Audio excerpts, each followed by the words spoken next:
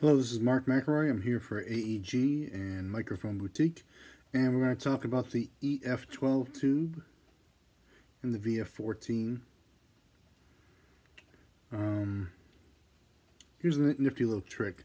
Uh, these tubes are microphonic. They go in microphones, but they tend to be microphonic even when they're new. And so there's a lot of shock mounting that goes into the uh, the U47 clones and the original. Uh, here's a way to cut down on some of those microphonics and um, and it's pretty easy and cheap. So uh, they're usually glass or metal tops. Uh, even the glass tops are painted black. Um, the paint cuts down on microphonics, but it also um, cuts down on light shining out the microphone as well. Um, so this one if I were to bet, I'd say it's glass. Um, one way to find out. Um, but this works for metal or glass. Um, what I do, what we use uh, often, is uh, go down to your auto parts store and get some of this stuff. It's silicone tape.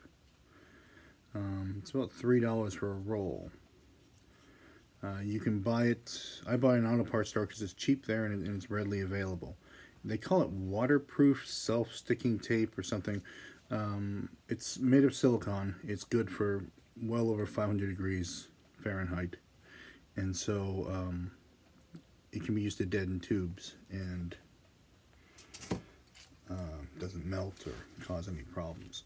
So this actually can be used with with any tubes in uh, microphone tubes. So cut off a strip that's you know, about six inches long. Now the stuff isn't very sticky, but it sticks to itself exceptionally well. So that's what we're going to do. So cut it, peel it, wrap it around the tube, give it a little stretch as you go on. Want to go around once, so I guess five inches should should do one time around and give it a little stretch as you go on because you want to be nice and tight. And there you go. Um, there's the seam. Where's the seam? There's the seam. Even difficult to see. And it's quite stuck on. It's not coming off. And um, it's going to decrease. The micro microphonics is going to work uh, as a deadener. They sell tube um, they sell silicone rings for putting over. I've seen them for um, power tubes, uh, EL 34s and 84s, even 12AX7s. This, I believe, works better than the ring. And you get what for you would be a lifetime supply of deadening material for uh, $3. Um, as I said, it also works on other microphone tubes. I can find no um, no reason why not to on anything. Uh, so uh, it's a good tip and a good way to uh, either stretch a little life out of the end of your VF14 life or just quiet down your EF12 or uh, EF11 microphone.